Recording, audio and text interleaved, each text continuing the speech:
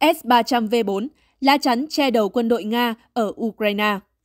Cùng với các hệ thống tên lửa phòng không lục quân Thor M2, Buk M3, biến thể S-300V4 chính là tổ hợp vũ khí phòng không chỉ huy giúp che đầu lục quân cơ động của Nga trên chiến trường. Trong tên gọi S-300V4, chữ cái V được ký hiệu cho vũ khí phòng không lục quân. Nhiệm vụ của hệ thống S-300V4 là cung cấp ô phòng không cho các đơn vị chiến đấu cấp chiến thuật, chiến dịch trên chiến trường trước các phương tiện bay và tên lửa đạn đạo cấp chiến thuật của đối phương. Sự đặc biệt của S-300V4 nằm ở việc nó được trang bị nhiều loại đạn tên lửa cho từng nhiệm vụ khác nhau. Hệ thống vũ khí này có tầm bắn cực đại đạt 400 km, trần cao đánh chặn đạt từ 25 đến 30 km.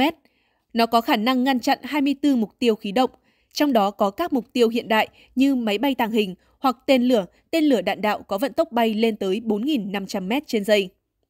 Giới chuyên gia đánh giá S-300V4 có thể đối phó hiệu quả với các dòng tên lửa đạn đạo tầm trung có tầm bắn tới 2.500 km.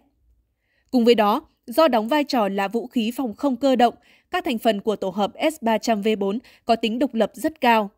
Mỗi xe phóng có thể độc lập tác chiến hoặc phối hợp trong một hệ thống phòng thủ tổng hợp. Toàn bộ tổ hợp S-300V4 đều được đặt trên khung gầm xe bánh xích cơ động và thời gian triển khai hay thu hồi ngắn.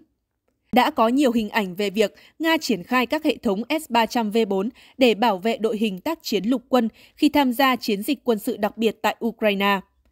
Nó chính là vũ khí hạn chế khả năng hoạt động của không quân và các đòn tấn công đường không của Ukraine nhằm vào quân đội và các mục tiêu quan trọng của Nga trong chiến dịch quân sự đặc biệt. Hiện trên thế giới không có sản phẩm vũ khí phòng không nào có tính năng tương tự như S-300V4.